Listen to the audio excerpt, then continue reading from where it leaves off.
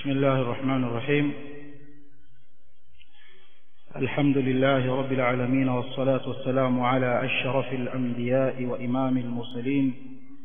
نبينا محمد وآله وصحبه ومن تبعهم بإحسان إلى يوم الدين وسلم تسليما كثيرا. أما بعد بعدكم حميد الله سبحانه وتعالى. Na kumsalia na kumsalimu mtume wetu Muhammadin sallallahu alayhi wasallam tulimaliza mlango wa saba walillahi alhamdu wal minna mlango wa an-na'yu al-jaiz utoaji wa taarifa ya habari uliokuwa unafaa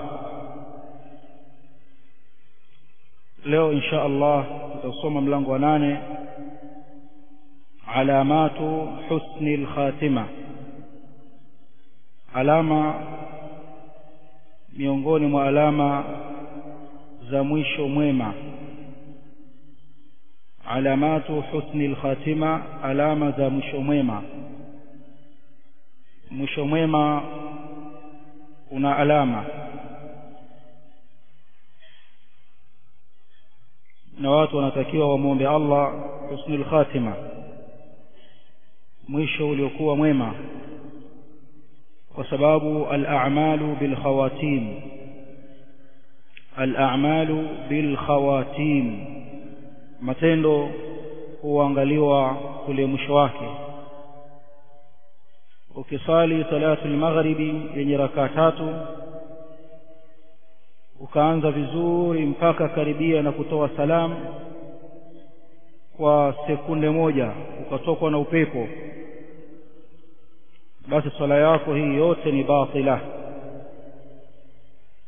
Imeharibika. Kadhalika ukifunga saumu ya ramadhan ukajichunga na ukajihifadhi vizuri min tului alfajri kuanzia kuchomoza kwa alfajiri ya kweli mpaka karibia na ghurubi shams.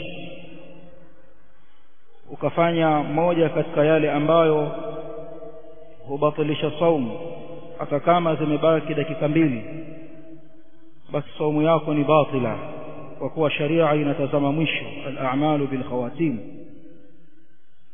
kwa hiyo kadhalika mtu anafanya matendo katika matendo ya watu wa peponi mpaka huwa baina yake na pepo kuna dhiraa moja tu anatanguliwa na andiko. Anatenda tendo la watu wa motoni anakufa anaingia motoni. Na kinyume chake. Kwa nini? Kwa sababu al-a'mal bil kwa hiyo mlango wa leo mlango wa nane alamatu husni al-khatima. Qala al-shaykh qala shaykhuna al-imam hasanat al-ayyam. مفتي ديار الشام بل عالم ديار الإسلام شيخ محمد ناصر الدين الألباني رحمه الله تعالى مسألة يشرين تانو. أنا سمع ثم إن الشارع الحكيم قد جعل علامات بينات يستدل بها على حسن الخاتمة. كتبها الله تعالى لنا بفضله ومنه. فأيما امرئ مات بإحداها كانت بشارة له ويا لها من بشارة. أنا سمع ثم إن الشارع الحكيم. كشا حكيكا الله مويك الشريعة من وحكيمة. قد جعل علامات amejalia alama bayinatin zilizokuwa wazi amezijalia kuna alama bayinat zilizokuwa wazi yustadallu biha hujengewa hoja kwa alama hizo ala husni lkhatima juu ya mwisho uliokuwa mwema. Tukiziona alama hizo tunazijengea hoja juu ya husni lkhatima kwa fulani. Katabaha Allahu ta'ala lana ametuwekea hizo Allah tabaraka wa taala bifadlihi wa mannihi kwa fadla zake na kwa neema zake subhanahu wa ta'ala. Fa ayyuma mri'in hivyo mtu yeyote fa ayyuma mri'in mtu yeyote mata biihdaha akiwa atafia kwa moja ya alama hizo kanat bisharatan lah itakuwa ni bishara kwake yeye mtu huyo wayalaha min bishara na uzuri ulioje wa bishara hiyo. Katika alama za husni al-khatima الأولى أنا سمع شيخ رحمه الله ألا ما ألم يقانز نطقه بالشهادة. نقول قيتم كفاك شهادة عند الموت وقات وقوفة وقات ربك تروه أكتم كشهادة. أنا كوفة أنا سمع أشهد أن لا إله إلا الله. وأشهد أن محمدا رسول الله. لفظ يله اكتوكا وعلامه يا كwanza يا حسن الخاتمه نطقه بالشهاده نقول كيتم كيتمكواك شهاده لا اله الا الله اكف عند الموت وقت وقت روح وفيه احاديث na katika hili zimekuja hadithi nyingi kutoka kwa mtume sallallahu alayhi wasallam. Sio hadithi moja hadithi ya kwanza anasema mtume sallallahu alayhi wasallam katika hadithi aliyopokea alimamu al-Hakim katika Mustadrak na wengine asiyekuwa Hakim bisanadin hasan kutoka kwa Muaz ibn Jabal anasema Rasul alayhi salatu wassalam من كان آخر كلامه لا إله إلا الله دخل الجنة. يوت يولي أمباي. من كان يوت يولي أمباي. وكيك وكيومي. آخر كلامه لتقوى من لا لمشو لا إله إلا الله دخل الجنة.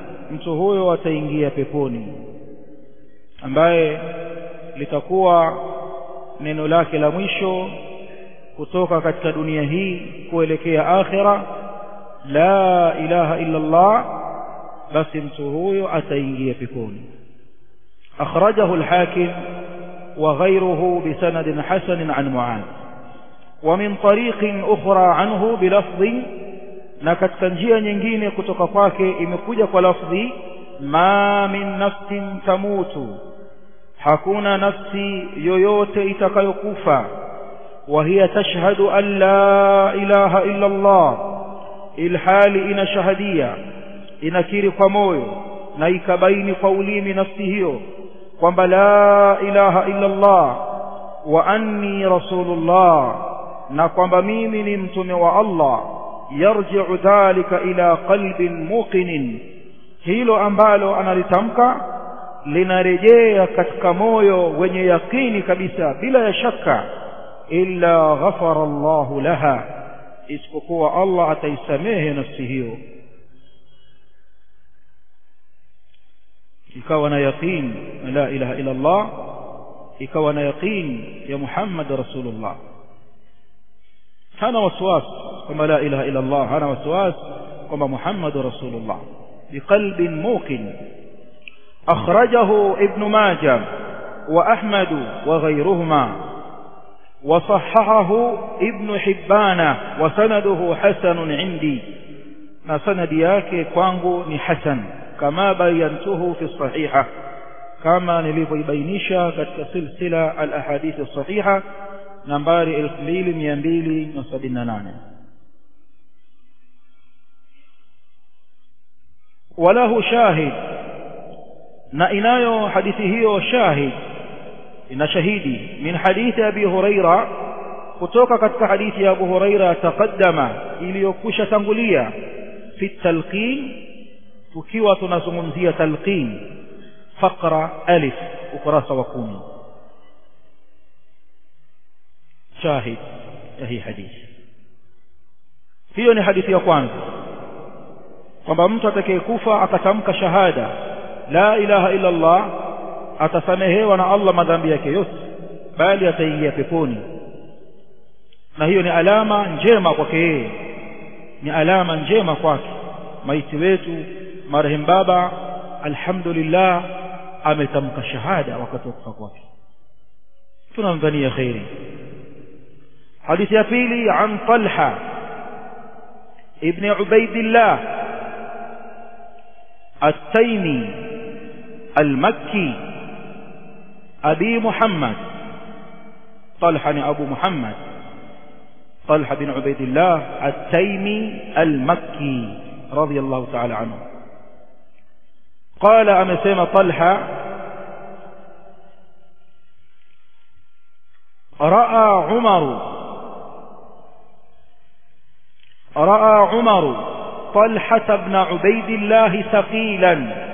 عمر سموجة ألمون طلحة بن عبيد الله ثقيلا أكوا ننزيته مكتئبا. أنا سماندي فقال أكسم عمر نكت رواية كت رواية يا ابن حبان.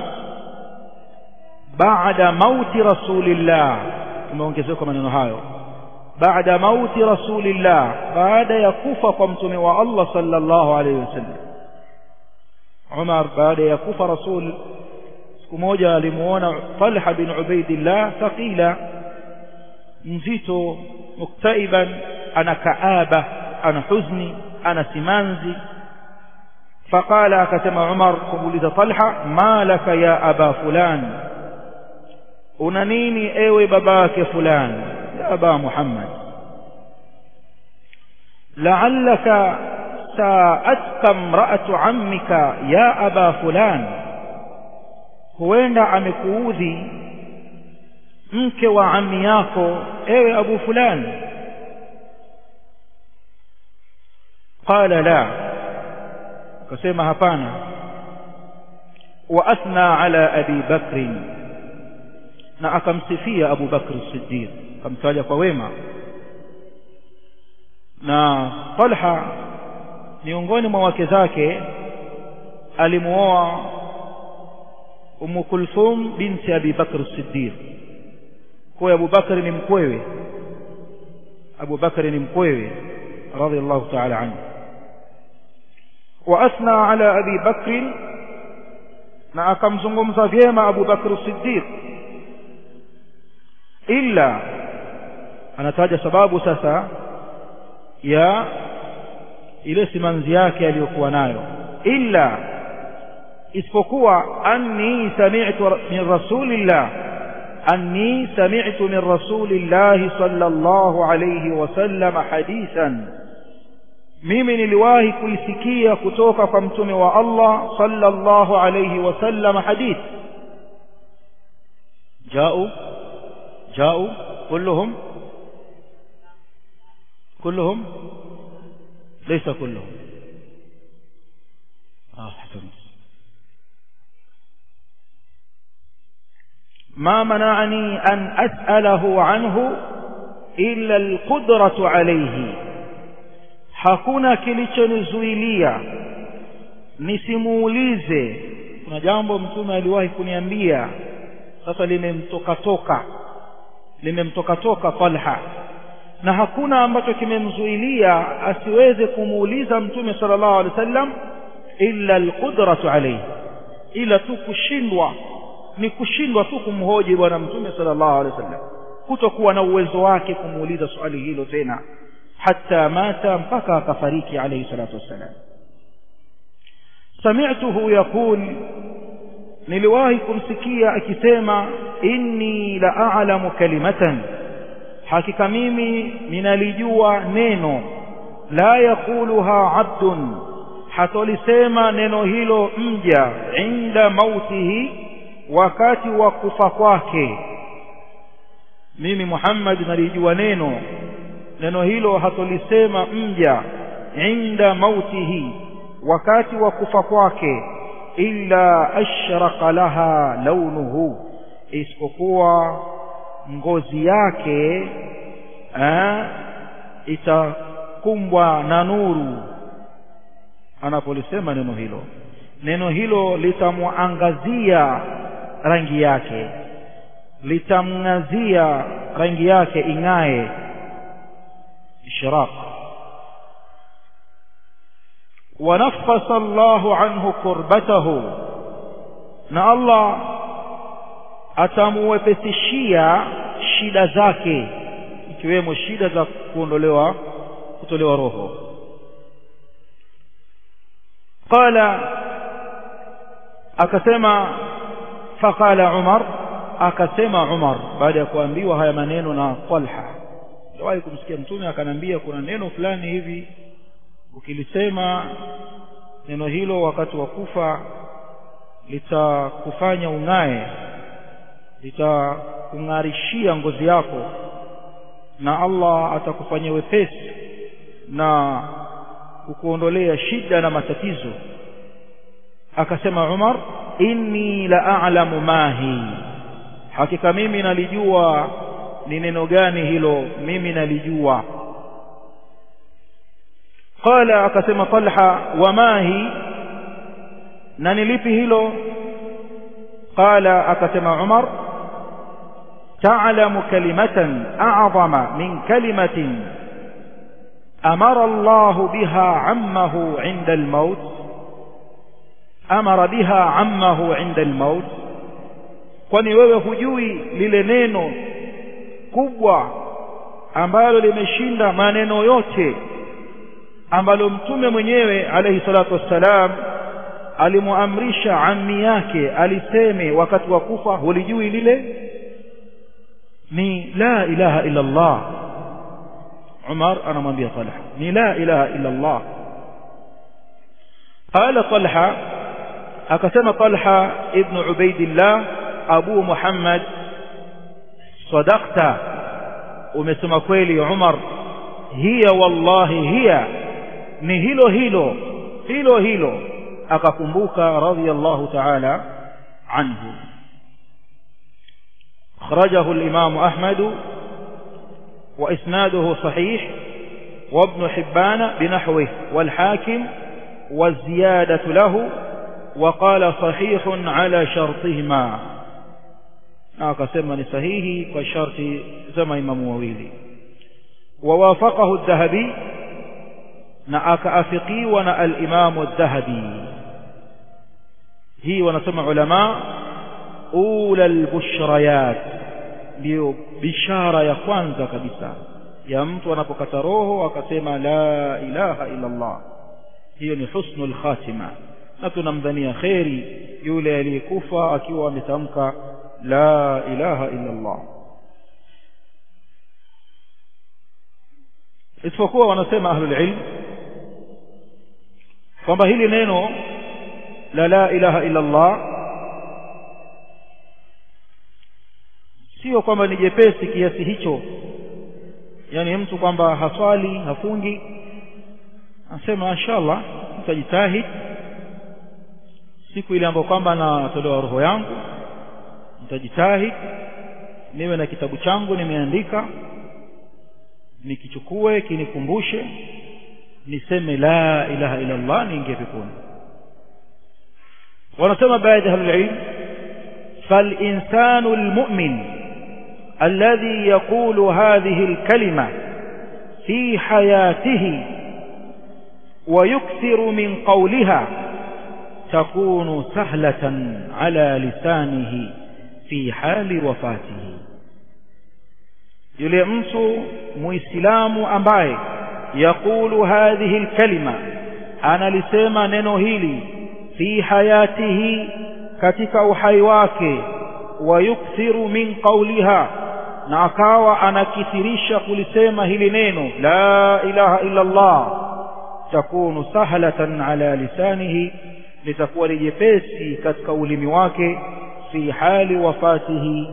كتكفين لتكفاكي ama alinsanu alladhi yakunu ba'idan an dhalik ama yule ambaye yuko mbali nalo neno hili fala yaqdiru an yaqulaha hatoweza kulisema hili neno illa an yasha Allah isipokuwa pale akitaka Allah tabaraka wa taala.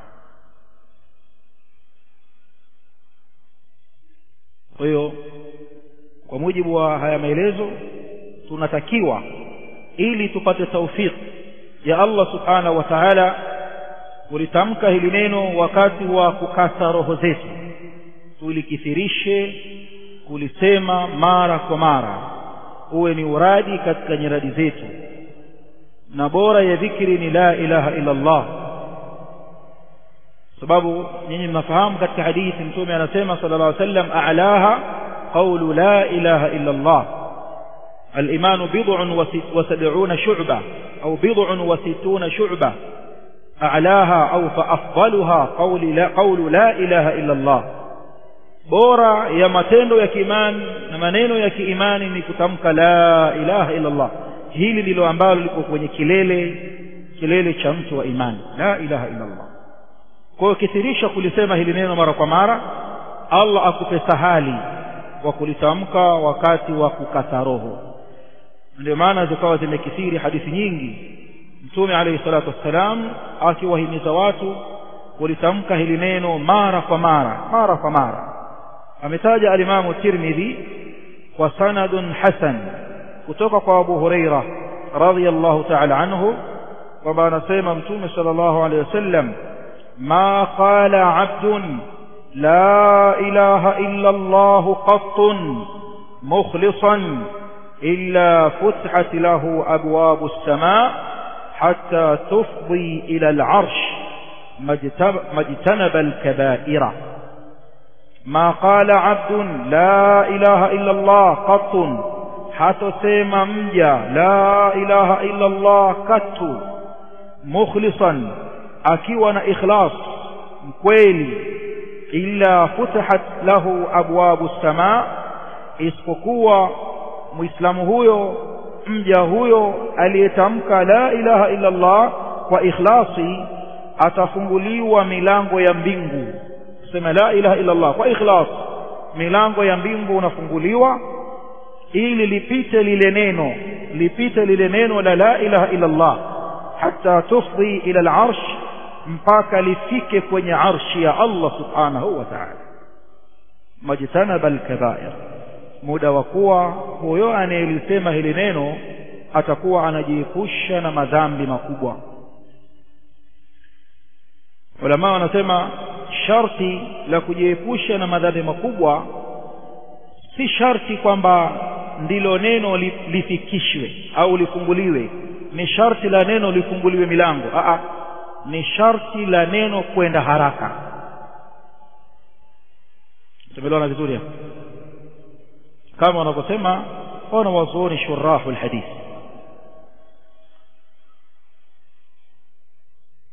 نا كذلك نيني من يفهم إلى حديث. الويتاج الإمام أحمد.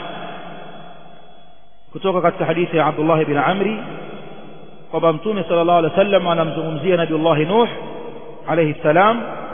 Ya kwamba Nuh alipofikiwa na wakati wa kukata roho kutolewa roho yake akasema kumwambia mtoto wake ambaye yuko mbele yake mimi nataka nikuhusie amuruka bisnaini wa anhaka an isnatain. Amuruka bisnatain wa anhaka an isnatain.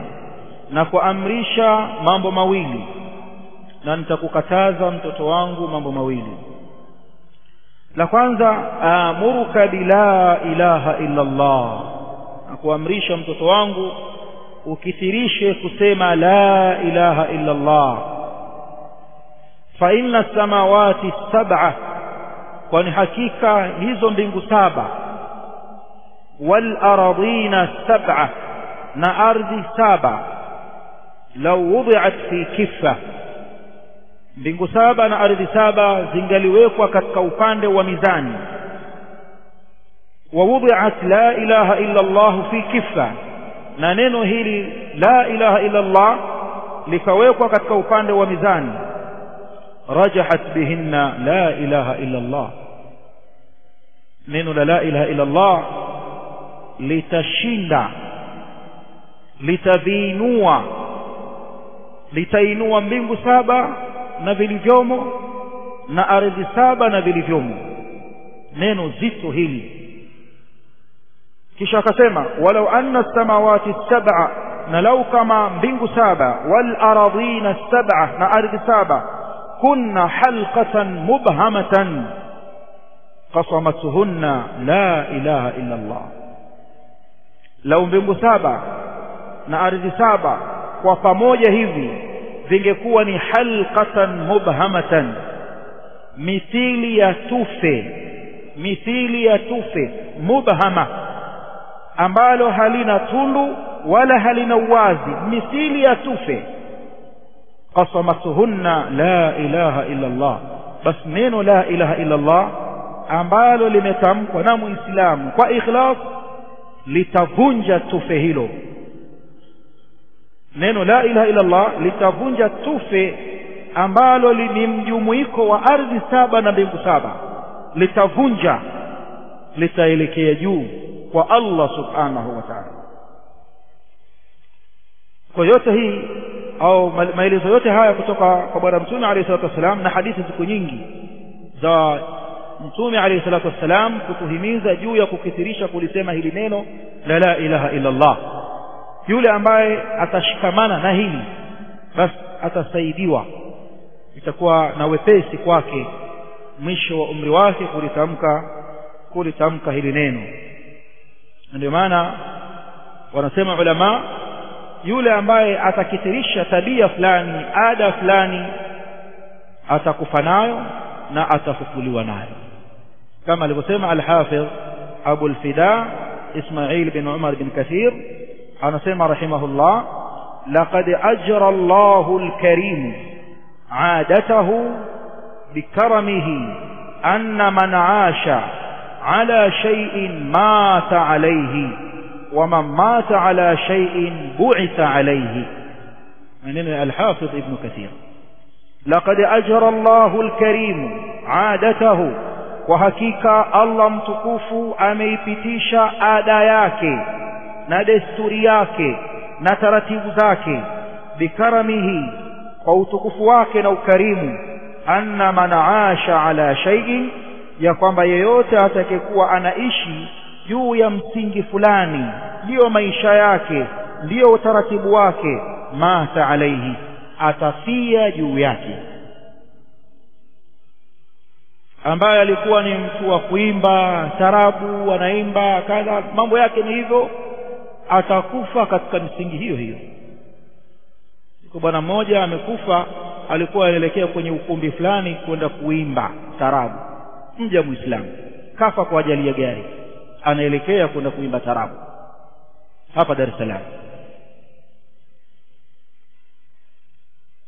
Kwa yule ambaye anaishi na taratibu yake fulani katika maisha yake haya atafia juu yake kwa hiyo kama wewe umejiwekea mara kwa mara kulitamka hili neno kufanya adhkari kusoma Qur'ani kusoma hadith kufanya mutalaa katika mambo ya kheri na dini utakufa katika msingi wako huo huo waman mata ala shay'in na atakayefia juu ya jambo fulani bu'itha alayhi atafufuliwa nalo siku ya kiyama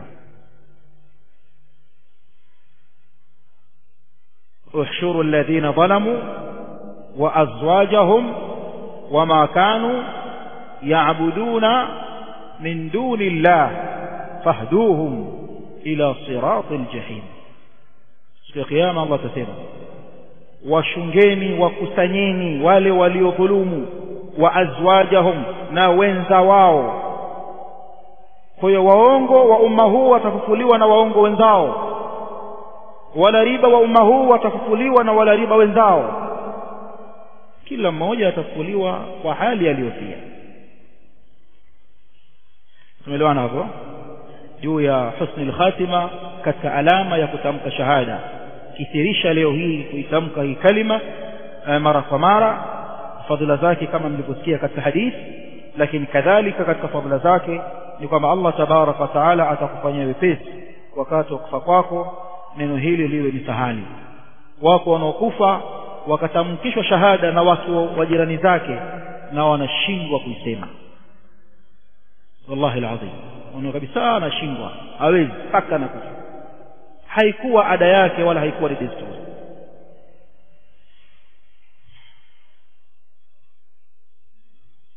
وفي الباب أحاديث ذكرت في التلقين katika masala haya huenda ikatajwa bab na hukusudiwa masala wa fil bab ay wa fil masala ahadithu zimekuja hadithi nyingi dhukrat fi talqin zimetajwa katika talqin kirejea kule utakuta hadithi za anekufa akitamka la ilaha illa Allah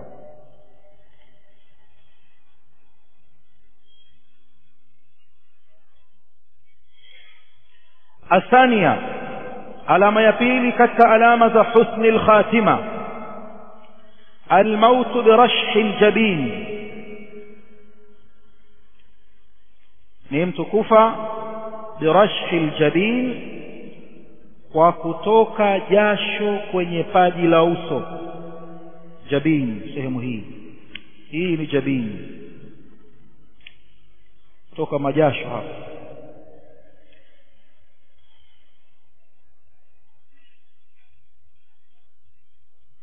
لحديث بريدة ابن الحصيب الأسلمي أبو عبد الله رضي الله تعالى عنه.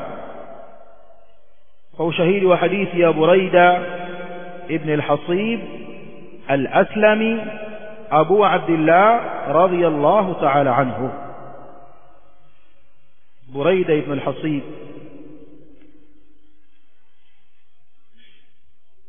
Buraida huyu alislimu wakati mtume sallallahu alaihi wasallam ameongozana na Abu Bakr Siddiq kuelekea Madina. Njiani huko wakapita wakakumbana na kina Buraida akiwa na watu wake takriban sabini na ziada au watu themanini mtume akielekea hijra kuelekea Madina akasilimu Buraida wakasilimu watu wake. Na mtume alayhi salatu wassalam siku hiyo aliwaswalisha salatu al-isha kabla ya kufika Madina. Na hakuacha kuwa amebaki kwa watu wa kwao Buraida. Hakwenda Madina kwa wakati ule na ndiyo maana hakuhudhuria vita vya Badri. Baadhi walitaja kwamba alikuwa amekwenda kwenye msafara wake wa kibiashara Sham kisha baadaye alikuja kufanya hijra kuelekea Madina kwa Mtume sallallahu alaihi wasallam akaenda Madina na akabakia katika mji wa Madina pamoja na Mtume sallallahu alaihi wa alihi wa sahbihi wasallam na yeye alikuwa ni katika miongoni mwa maumara ma maamiri wanaoteuliwa na Umar Umar ibn Khattab akiwateua maamiri kadhalika alikuwa anamteua Buraida ibn al-Hasib radiyallahu ta'ala anhu wa ardahu na alitumwa pamoja na jeshi ambalo lilikuwa likielekea Khurasan kupigana. Na yeye alikuwa katika jeshi la Khurasan. Khurasan ni mitaa ya Persia Irani huko na kwingineko. Alifariki sahaba huyu wako waliosema mwaka sitini na tatu katika uongozi wa Yazid mtoto wa Muawiya na akapitisha al-Imam uh, al-Imam Shamsuddin Dhahabi kuwa alifariki mwaka 62 Hijria radiyallahu ta'ala anhu wa ardah kwa hiyo tumeyasema haya kwa kuwa tumetaja Khurasan. Na yeye alikuwa katika watu waliokwenda Khurasan na mauti yake yalimfikia huko huko Khurasan katika mji wa Marwa anasema li hadithi Buraida kwa ushahidi wa hadithi ya Buraida ibn al-Hasib al-Aslami radiyallahu ta'ala anhu annahu kana bi Khurasana kwamba yeye alikuwa Khurasan Khurasani Uzbekistani Tajikistani afghanistani zote hizo ni sehemu za peshia khurasan. Faada akhan lahu wa huwa maridh akamtembelea ndugu yake ambaye alikuwa ni mgonjwa. Wapi? Huko khurasan. Kwenda kumtembelea ndugu yake katika imani mgonjwa. Fawajadahu bilmaut. Akamkuta anakata roho bilmaut. Bimaana yuhtadhar anajiliwa na umaut wa idha huwa bi'araqi jabini tahamaki anatokwa jasho anatokwa na jasho sehemu ya paji lake la uso faqala akasema buraida Allahu akbar sami'tu rasulullah nilimsikia mtume wa Allah sallallahu alayhi wasallam yakul akisema mautu lmumini biaraqi ljabin, kifo cha musla, na mu'min kifo cha mu'min biaraqi ljabin ni kutokwa jasho jabin taji la uso. Kwa hiyo wanasema ulama ameyasema haya istibsharan eh, kama vile bishara njema ime imemwangazia ime kwamba ndugu yake anakufa kwa ile hali nzuri aliyoitaja mtume sallallahu alaihi wasallam kwamba muumini anapokufa basi paji lake la uso hutokwa na jasho. Kwa hii ni alama katika alama za husni al-khatima. Akhrajahu ahmad ameitaja al-imam ahmad wa lah na mlolongo wa kihadithi ni wake والنسائي كذلك أميتاج الإمام النسائي والترمذي وحسنه وابن ماجه وابن حبان والحاكم والطيالسي أبو داود الطيالسي وأبو رعين قد الحلية وقال الحاكم صحيح على شرط مسلم ووافقه الذهبي. أنا سمى وفيه نظر لكن دنياك كنا ولكن. لا مجال لذكره هنا. أكون فرصة آه، هي ولكن كنت جهبا لا سيما حسهاسا وأن أحد إسنادي النسائي موجي إسناد ميلي إمام نسائي صحيح على شرط البخاري. بصحيح كشرط إمام بخاري. ويكون هذا كنت جهبا وله شاهد. لكن كذلك إن شاهد من حديث عبد الله بن مسعود رضي الله تعالى عنه رواه الطبراني أميتاج الإمام الطبراني أبو القاسم في الأوسط والكبير ورجاله ثقات رجال الصحيح كما في المجمع المجمع الزوائد. Kwa alama ya pili katika alama za husnul khatima ni yule anayekata roho kutokwa na jasho jembamba katika paji lake la uso.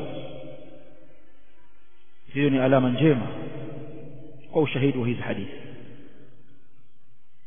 Na ndio maana pia hata waja wema waja wema walipokuwa wanakata roho katika sakratul maut walikuwa wanawauliza wale ambao wamewasimamia pale je mnaona kuna jasho lanitoka kwenye paji la uso au hamlioni walikuwa wakiyafanya haya kama alivyotaja al-Imam Abu al-Faraj Abdurrahman ibn Ali al-Jawzi al-Imam al-Jawzi Abu al-Faraj ibn al-Jawzi kwenye kitabu chake As-Sabat 'inda al-Mamat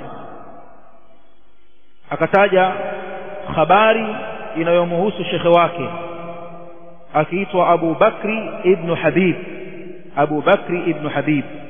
كما شخواك أمباو أمنكو كتقفاو منجي حتى كتا كتاب تلبيس إدليس تلبيس إدليس كذلك كتاب دم الهوى دم الهوى هاي أميتاج كتابه كتاب الثبات عند الممات كما شخواك أبو بكر ابن حبيب نالكوا كوفنديشا ما كوفا موعظة na alikuwa ni mwalimu mzuri kama alivyosema Ibn al-Jawzi rahimahullahu ta'ala. Sheikh wake huyu walipokuwa wametembelewa na watu ndugu zake wale alipokuwa yuko katika sakratul maut wakamwambia auswina hebu tuusie. Ndio unakata roho hivyo watutoka auswina tuusie فقال أقسم أبو بكر ابن حبيب شيخ والإمام ابن الجوزي. رحمهم الله أوصيكم بثلاث. نكوسيين من بمتات. بتقوى الله عز وجل لكوانزا نكوسيينكم شاء الله ومراقبته في الخلوة. نقوم تشونغ الله mkiwa mafichoni unapokuwa uko peke yako umejitenga basi mchunge Allah kwamba anakuona anakusikia wahdharu masra'i hadha tahadharini hali yangu hii ambayo inanifikia hapa tahadharini ogopeni hii hali yani mcheni Allah tahadharini na muiogope hii hali faqad ishtu ihda wa sittina sana mimi nimeishi miaka sitini na moja nimeishi miaka sitini na moja wama kaanni raaitu dunia lakini pamoja na kwamba nimeishi miaka sitini na moja kana kwamba sijawahi mimi kuiona dunia, yani kana kwamba sijawahi kuishi kwenye dunia. Ni muda mdogo ambao umepita, huwezi kuufikiria. Thumma qala, hii ndo mahalu shahid. Kisha akasema libadhi ikhwanihi, kumwambia mmoja wa ndugu zake ambao wako pale, undhur hal tara jabini yaraq, hebu nitazame unaona paji langu la uso linatoa linatoa jasho. Mtazame vizuri unaona paji langu la uso latoa jasho. Faqal akasema yule bwana naam ndiyo ninaona hivyo. Faqal akasema Abu Bakar ibn Habib alhamdulillah hadhihi alamatu lmuminin sifa njema anastahiki Allah. Hii ni alama ya waumini yani أنسيما رحمه الله تعالى الثالثة ألا ما يتاتوا الموت ليلة الجمعة أو نهارها. فألا ما تحسن الخاتمة مشميمة الموت ليلة الجمعة نمت كفا أسيك وكوامكي إجماع أسيك وكوامكي إجماع ليلة الجمعة. أو نهارها أو مشان ويدما هي ألاما يا حسن الخاتمة. مش لقوة ميمة لقوله صلى الله عليه وسلم هو شهيد ومن نياك ونمتون صلى الله عليه وسلم. ما من مسلم حكون مسلم ييوت يموت يوم الجمعة. Atakayefariki siku ya aljumaa kwa maana mchana wake au lailata aljumaa au usiku wa kuamkia ijumaa illa waqahu Allahu fitnata alqabri isipokuwa muislamu huyo atakingwa na Allah tabaraka wa taala kutokamana na fitna za makaburini. Atakingwa na Allah tabaraka wa taala kutokamana na fitna za makaburini أخرجه أحمد والفسوي في المعرفة من طريقين عن عبد الله بن عمرو والترمذي من أحد الوجهين وله شواهد عن أنس وجابر بن عبد الله وغيرهما فالحديث بمجموع طرقه حسن أو صحيح. رجية تحفة الأحوذي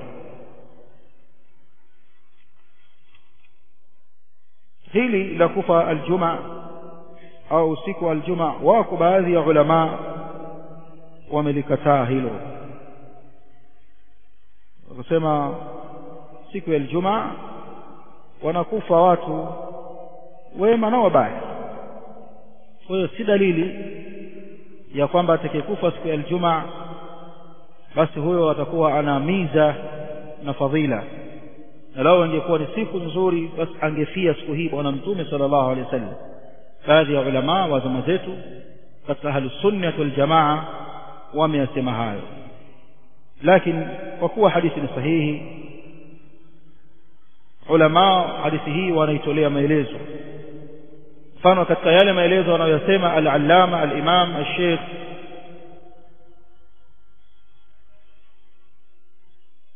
Sheikh حفظه الله ta'ala anasema walaysa dhalika ala itlaqihi.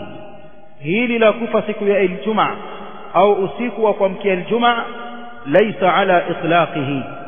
Yani halipo kwa uwazi huo wa moja kwa moja kwamba kila mtu atakayekufa siku hiyo basi jambo lake njema fa innal muslima yasduqu hadha al-lafz. Kwa sababu hadithi imesema hakuna muislamu yeyote na muislamu yoyote jina la kwamba yeye ni muislamu kwake linakubali. Anaweza akawa ni mtu wa bid'a akaambiwa bado huyu ni muslim. Kwa nini? Ana bid'a ambazo hazijamtoa katika milla bado yeye ni muslim. Hana bid'a mukaffira. Ana bid'a mufassiqa ambazo humtia kwenye ufasik lakini hazijamtoa katika milla na ni fasik kama ni fasik bado ni muislamu kwa hiyo shekha anasema hili halipo kwa itlaq. Huenda huyo akawa ni mtu anempinga Allah na kumpiga vita bwana mtume sallallahu alaihi wasallam kwa maana anapiga vita sunna. Lakini akawa bado hajatoka katika uislam anapiga vita sunna. Fahadha yakunu lirajuli salih. Kwa hiyo hii hadithi hii hadithi itamuhusu mtu mwema alladhi la yadhlimu nnas ambaye hawadhulumu kwanza watu shart hawadhulumu watu wala tataallaqu bidhimmatihi huququ lkhalqi, wala katika dhima yake hakuna haki anazodaiwa na viumbe ima kuwajeruhi heshima au kuwadhulumu vitu vyao hana dhima ya vitu vya watu katika haki za waja wa hadha yakunu lirajuli almustaqim hili litamuingia yule mtu ambaye ni mustaqim wewe ni mtu mustaqim mtu wa tauhid mtu wa sunna mtu wa makarimul akhlaq na tabia njema wa mahasinul a'mal ana ugomvi na mtu ampige vita Allah ampige vita bwana mtume sallallahu alaihi wasallam hakuna katika dhima yake haki za watu